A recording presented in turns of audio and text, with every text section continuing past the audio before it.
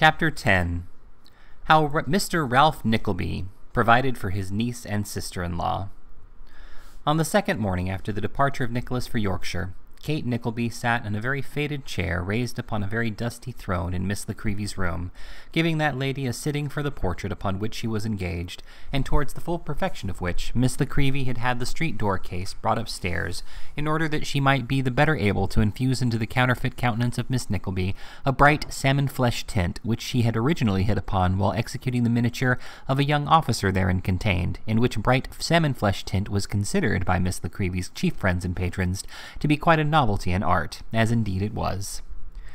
I think I have caught it now, said Miss La Creevy. The very shade. This will be the sweetest portrait I have ever done, certainly. It will be your genius that makes it so, then, I am sure, replied Kate, smiling. No, no, I won't allow that, my dear, rejoined Miss La Creevy. It's a very nice subject, a very nice subject indeed, though, of course, something depends upon the mode of treatment. And not a little, observed Kate. Why, my dear, you are right there, said Miss La Creevy. In the main you are right there, though I don't allow that it is of such very great importance in the present case. Ah, the difficulties of art, my dear, are great. They must be, I have no doubt, said Kate, humoring her good-natured little friend. They are beyond anything you can form the faintest conception of, replied Miss La Creevy. What with bringing out eyes with all one's power, and keeping down noses with all one's force, and adding to heads and taking away teeth altogether, you have no idea of the trouble one little miniature is. The, remun- the remuneration can scarcely repay you, said Kate. Why, it does not, and that's the truth, answered Miss La Creevy. And then people are so dissatisfied and unreasonable that nine times out of ten there's no pleasure in painting them. Sometimes they say, Oh, how very serious you have made me look, Miss La Creevy, and at others, La, Miss La Creevy, how very smirking, when the very essence of a good portrait is that it must be either serious or smirking, or it's no portrait at all. Indeed, said Kate, laughing. Certainly, my dear, because the sitters are always either the one or the other, replied Miss La Creevy. Look at the Royal Academy. All those beautiful, shiny portraits of gentlemen in black velvet waistcoats, with their fists doubled up on round tables or marble slabs, are serious, you know. And all the ladies who are playing with little parasols, or little dogs, or little children, it's the same rule in art, only varying the objects, are smirking. In fact, said Miss La Creevy, sinking her voice to a confidential whisper, there are only two styles of portrait painting, the serious and the smirk.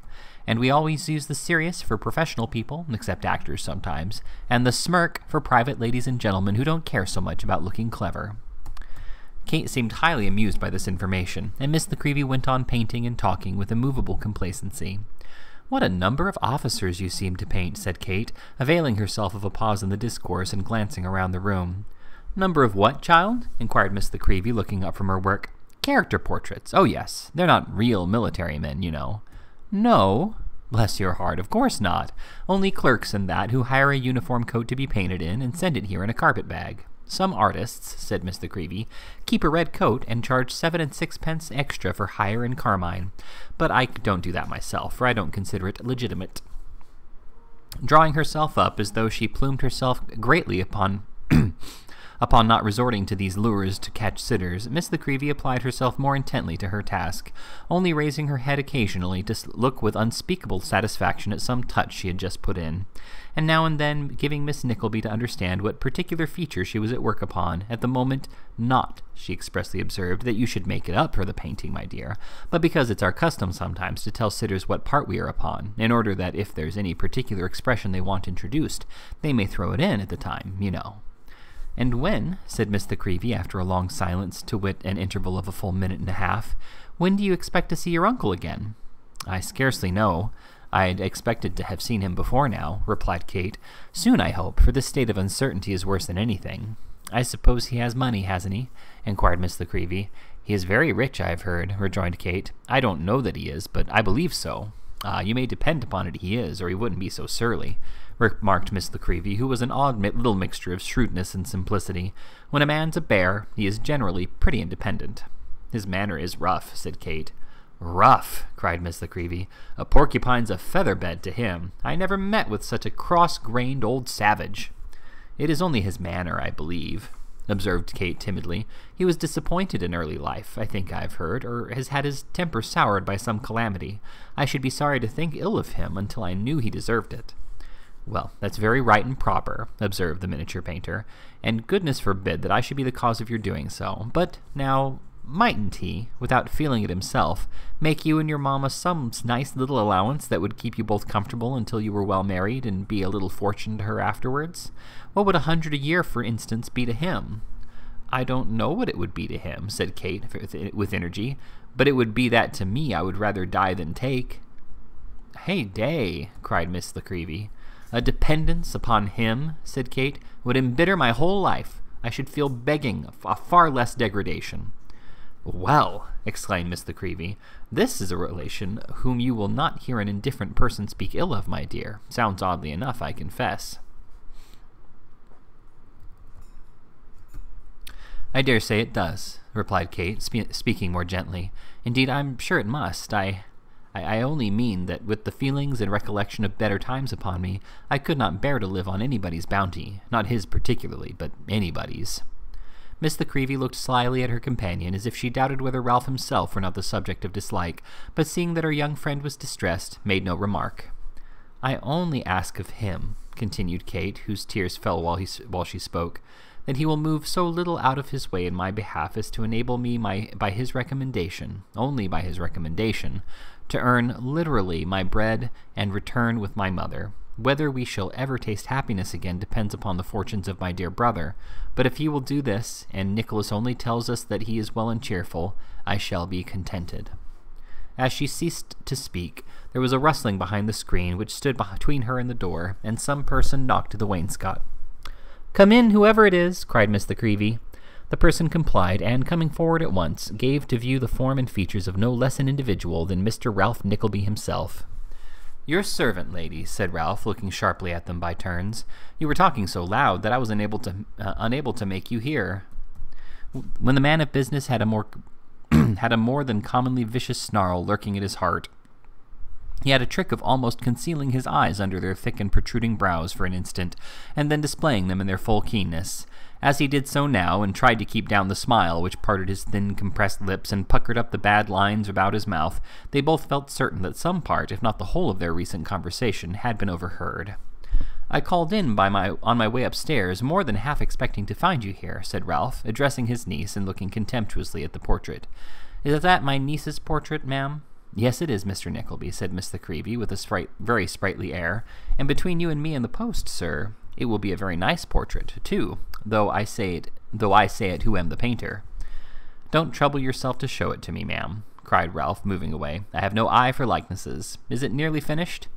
Why, yes, replied Miss La Creevy, considering with the pencil end of her brush in her mouth. Two more sittings will... Have them at once, ma'am, uh, said Ralph. She'll have no time to idle over fooleries after tomorrow. Work, ma'am, work. We all must work. Have you let your lodgings, ma'am? I have not put up a bill yet, sir. Put it up at once, ma'am. They won't want the rooms after this week, or if they do, they can't pay for them.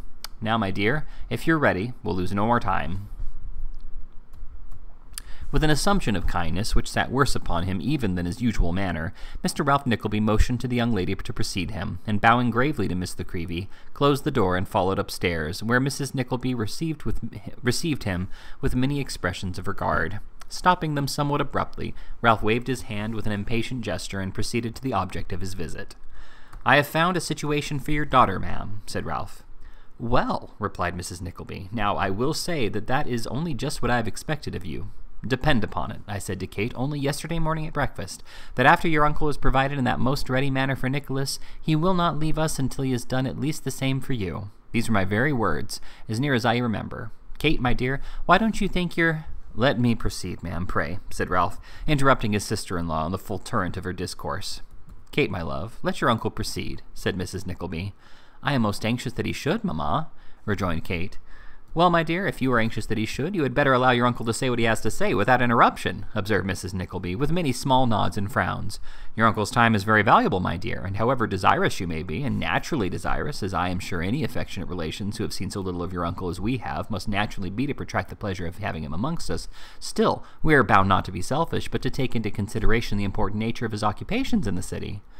I am very much obliged to you, ma'am, said Ralph, with a with a scarcely perceptible sneer, an absence of business habits in this family apparent, leads apparently to a great waste of words before business, when it does come under consideration, is arrived at at all. I fear it is so indeed, replied Mrs. Nickleby with a sigh. Your poor brother. My poor brother, ma'am, interposed Ralph tartly, had no idea what business was, was unacquainted, I verily believe, with the very meaning of the word. I fear he was, said Mrs. Nickleby with her handkerchief to her eyes. If it hadn't been for me, I don't know what would have become of him. What strange creatures we are. The slight bait so skilfully thrown out by Ralph on their first interview was dangling on the hook yet, at every small deprivation or discomfort which had presented itself in the course of the four and twenty hours to remind her of her straitened and altered circumstances, peevish visions of her dower of one thousand pounds had arisen before Mrs. Nickleby's mind, until at last she had come to persuade herself that all of her late husband's creditors she was the that of all her late husband's creditors she was the worst used and the most to be pitied. And yet she had loved him dearly for many years, and had no greater share of selfishness than is the usual lot of mortals, such as the irritability of sudden poverty. A decent annuity would have restored her thoughts to their old train at once. Repining is of no use, ma'am, said Ralph. Of all fruitless errands, sending a tear to look after a day that is gone is the most fruitless. So it is, sobbed Mrs. Nickleby, so it is. As you feel so keenly, in your own person person, the consequences of inattention to business, ma'am, said Ralph, I am sure you will impress upon your children the necessity of attaching themselves to it early in life. Of course I must see that, rejoined Mrs. Nickleby. Sad experience, you know, brother-in-law. Kate, my dear, put that down in the next letter to Nicholas, or remind me to do it if I write. Ralph paused for a few moments, and seeing that he had now made pretty sure of the mother, in case the daughter objected to his proposition, went on to say, the situation that I have made interest to procure, ma'am, is with with a milliner and a dressmaker, in short. A milliner, cried Mrs. Nickleby. A milliner and a dressmaker, ma'am, replied Ralph. Replied Ralph. Dressmakers in London, as I need not remind you, ma'am, who are so well acquainted with all matters in the ordinary routine of life, make large fortunes, keep equipages, and become persons of great wealth and fortune. Now, the first idea called up in Mrs. Nickleby's mind by the words milliner and dressmaker were connected with certain wicker baskets lined with black oilskin which he remembered to have seen carried to and fro in the streets, but as Ralph proceeded these disappeared, and were replaced by visions of large houses of the West End, neat private carriages, and a banker's book, all of which images succeeded each other with such rapidity that he had no sooner finished speaking than she nodded her head and said, Very true, with great appearance of satisfaction. What your uncle says is very true, Kate, my dear, said Mrs. Nickleby. I recollect when your poor papa and I came to town after we were married, that a young lady brought me home a chip a chip cottage bonnet with white and green trimming and green Persian lining in her own carriage, which drove up to the door full gallop. At least, I'm not quite certain whether it was her own carriage or a hackney chariot, but I remember very well that the horse dropped down dead as he was turning round, and that your poor papa said he hadn't any corn for a fortnight. This anecdote, so strikingly illust illustrative of the opulence of milliners, was not received with any great demonstration of feeling, inasmuch as Kate hung down her head while it was relating, and Ralph manifested very intelligible symptoms of extreme impatience. The lady's name, said Ralph, hastily striking in, is Mantalini, Madame Mantalini. I know her. She lives near Cavendish Square. If your daughter is disposed to try after the situation, I'll take her there and directly. Have you nothing to say to your uncle, my love? inquired Mrs. Nickleby. A great deal, replied Kate, but not now. I would rather speak to him when we are alone. It will save his time if I thank him and say what I wish to say to him as we walk along. With these words, Kate hurried away to hide the traces of emotion that were stealing down that were stealing down her face and to prepare herself for the walk, while Mrs. Nickleby amused her brother-in-law by giving him, with many tears, a detailed account of the dimensions of a rosewood cabinet piano that they, they had possessed in their days of affluence, together with a minute description of eight drawing-room chairs with turned legs and green-chintz squabs to match the curtains, which had cost two pounds fifteen shillings apiece and had gone at the sale for a mere nothing. These reminiscences were at length cut short by Kate's return in her walking dress, when Ralph, who had been fretting and fuming during the whole time of her absence, lost no time and used very little ceremony in descending into the street. Now, he said, taking her arm, walk as fast as you can, and you'll get into the step that you'll have to walk to business with every morning. So saying, he led Kate off at a good round pace towards Cavendish Square. I am very much obliged to you, uncle, said the young lady after they had hurried on in silence for some time. Very. I'm glad to hear it, said Ralph. I hope you'll do your duty. I will try to please, uncle, replied Kate. Indeed, I. Don't begin to cry, growled Ralph. I hate crying. It's very foolish, I know, uncle, began poor Kate. It is, re replied Ralph, stopping her short, and very affected, besides. Let me see no more of it. Perhaps this was not the best way to dry the tears of a young and sensitive female, but about to make her first entry on an entirely new scene of life among cold and uninterested strangers, but it had its effect, notwithstanding. Kate colored deeply, breathed quickly for a few moments, and then walked on with a firmer and more determined step. It was a curious contrast to see how the timid country girl shrunk through the crowd that hurried up and down the streets, giving way to the press of people and clinging closely to Ralph as though she feared to lose him in the throng, and how the stern and hard featured man of business went doggedly on, elbowing the passengers aside, and now and then exchanging a gruff salutation with some passing acquaintance who turned to look back upon his pretty charge with looks expressive of surprise and seemed to wonder at the ill assorted companionship but it would have been a stranger contrast still to have read the hearts that were beating side by side, to have laid bare the gentle innocence of the one and the rugged villainy of the other, to have hung upon the guileless thoughts of the affectionate girl, and been amazed that, among all the wily plots and calculations of the old man, there should not be one word or figure denoting thought of death or of the grave. But so it was, and stranger still, though this is a thing of every day, the warm young heart palpitated with a thousand anxieties and apprehensions, while that of the old worldly man lay rusting in its cell, beating only as a piece of cunning mechanism, and yielding no one throb of hope, or fear, or love, or care for any living thing. Uncle, said Kate when she judged they must be near their destination, I must ask one question of you. I am to live at home? At home, replied Ralph. Where's that? I mean, with my mother. The widow? said Kate emphatically. You will live, to all intents and purposes, here, rejoined Ralph. For here you will, take, you will take your meals, and here you will be from morning till night, occasionally perhaps till morning again. But at night, I mean, said Kate. I cannot leave her, uncle. I must have some place that I can call a home. It will be wherever she is, you know, and may be a very humble one. May be, said Ralph, walking faster, as in the impatience provoked by the remark. Must be, you mean. May be a humble one. Is the girl mad? The word, the word slipped from my lips. I did not mean it indeed, urged Kate. I hope not, said Ralph. But my question, uncle, you have not answered it. Why, I anticipated something of the kind, said Ralph, and, though I object very strongly, mind, have provided against it. I spoke of you as an out of door worker. You will go so you will go to this home that may be humble every night. There was comfort in this. Kate poured forth many thanks for her uncle's consideration, which Ralph received as if he had deserved them all, and they arrived without any further conversation at the, dress, the dressmaker's door, which displayed a very large plate with Madame Mantalini's name and occupation, and was approached by a handsome flight of steps. There was a shop to the house, but it was let off to an importer of an otto of roses.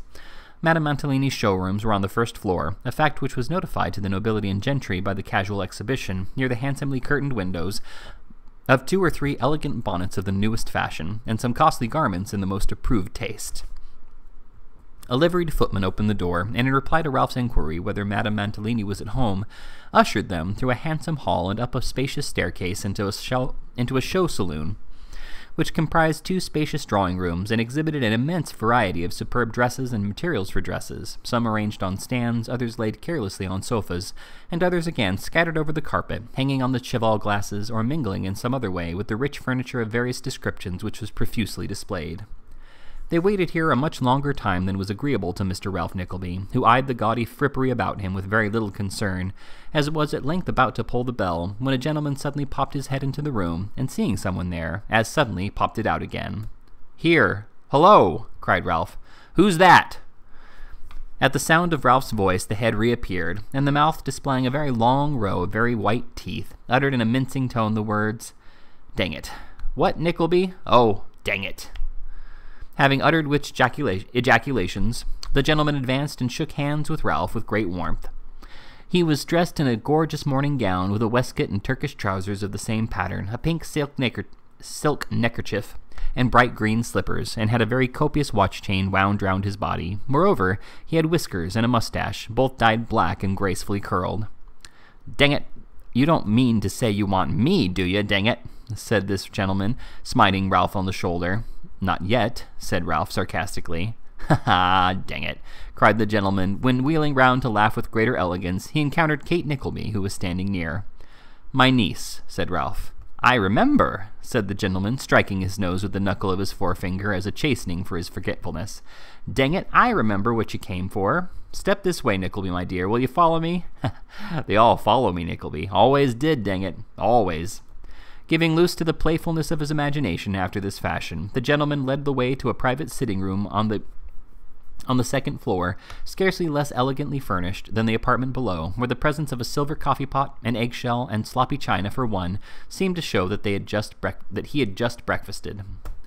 Sit down, my dear, said the gentleman, first staring Miss Nickleby out of countenance, and then grinning in delight at the achievement.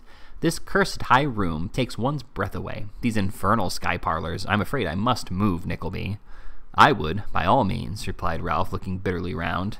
What a dang rum fellow you are, Nickleby, said the gentleman. The dangdest, longest headed, queerest tempered old coiner of gold and silver ever was, dang it.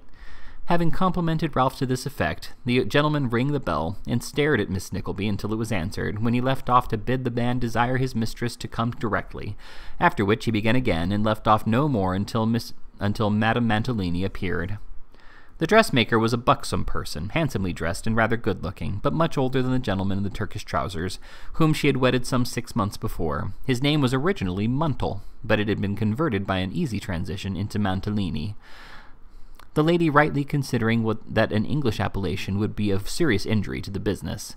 He had married on his whiskers, upon which property he had previously subsisted in a genteel manner for some years, and which he had recently improved, after patient cultivation, by the addition of a moustache which promised to secure him an easy independence, his share in the labors of the business being at present confined to spending the money and occasionally, when that ran short, driving to Mr. Ralph Nickleby to procure discount at a percentage for the customers' bills. My life, said Mr. Mantalini, what a danged devil of a time you have been. I didn't even know Mr. Nickleby was here, my love, said Madame Mantalini. Then what a doubly dinged, infernal rascal that footman must be, my soul, remonstrated Mr. Mantalini. My dear, said Madame, this is entirely your fault. My fault? My heart's joy? My fault, my heart's joy? Certainly, returned the lady. What can you expect, dearest, if you will not correct the man? Correct the man, my soul's delight? Yes, I am sure he wants speaking to, badly enough, said Madame, pouting. Then do not vex itself, said Mr. Mantalini. He shall be horsewhipped till he cries out damnably. With this with this promise, Mr. Mantalini kissed Madame Mantalini, and after that performance, Madame Mantalini pulled Mr. Mantalini playfully by the ear, which done, they descended to business. Now, ma'am, said Ralph, who had looked on at all this with such scorn as few men can express in looks, this is my niece. Just so, Mr. Nickleby, replied Madame Mantalini, surveying Kate from head to foot and back again. Can you speak French, child? Yes, ma'am, replied Kate, not daring to look up, for she felt that the eyes of the odious man in the dressing gown were directed towards her. Like a dank native? asked the husband. Miss, no- Miss Nickleby offered no reply to this inquiry, but turned her back upon the questioner, as if addressing herself to make answer to what his wife might demand. We keep twenty young women constantly employed in the establishment, said Madame. Indeed, ma'am, replied Kate timidly. Yes, and some of them Danged handsome, too, said the master. Mantalini, exclaimed his wife in an awful voice. My sense is idle, said Mantalini. Do you wish to break my heart? Not for twenty thousand hemispheres populated with, with, with little ballet dancers, replied Mantalini in a poetical strain. Then you will, if you perse persevere in that mode of speaking, said his wife. What can Mr. Nickleby think when he hears you? Oh, nothing, ma'am, nothing, replied Ralph. I know his amiable nature, and yours, mere little remarks that give a zest to your daily intercourse, lovers' quarrels that add sweetness to those domestic joys which promise to last so long. That's all, that's all. If an iron door could be supposed to quarrel with its hinges, and to make a firm resolution to open with slow obstinacy, and grind them to powder in the process, it would emit a pleasanter sound in so doing than did these words in the rough and bitter voice in which they were uttered by Ralph. Even Mr. Mantalini felt their influence, and turning affrighted round, exclaimed, What a danged horrid croaking! You will pay no attention, if you please, to what Mr. Mantalini says, observed his wife, addressing Miss Nickleby. I do not, ma'am, said Kate, with quiet contempt. Mr. Mantalini knows nothing whatever about any of the young women, continued Madame, looking at her husband and speaking to Kate. If he has seen any of them, he must have seen them in the street going to or returning from their work, and not here. He was never even in the room. I do not allow it. What hours of work have you been accustomed to? I have never yet been accustomed to work at all, ma'am, replied Kate in a low voice. For which reason she'll work all the better now, said Ralph, putting in a word lest this confession should injure the negotiation. I hope so, returned, returned Madame Mantalini. Our hours are from 9 to 9, with extra work when they're very full for business, for which I allow payment as overtime. Kate bowed her head to intimate that she heard and was satisfied. Your meals, continued Madame Mantalini, that is, dinner and tea, you will take here. I should take, think your wages would average from five to seven shillings a week, but I can't give you any certain information on that point until I see what you can do. Kate bowed her head again. If you're ready to come, said Madame Mantalini, you'd better begin on Monday morning at nine exactly, and Miss Knag the forewoman shall then have directions to try you with some easy work at first. Is there anything more, Mr. Nickleby? Nothing more, ma'am, said replied Ralph, rising. Then I believe that's all, said the lady. Having arrived at this natural conclusion, she looked at the door as if she wished to be, as if she wished to be gone, but hesitated notwithstanding, as though unwilling to leave to Mr. Mantalini the sole honor of showing them downstairs.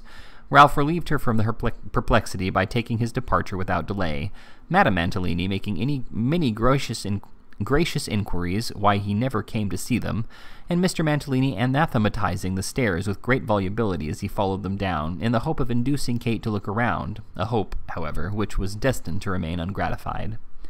There, said Ralph when they got into the street. Now, you're provided for. Kate was about to thank him again, but he stopped her.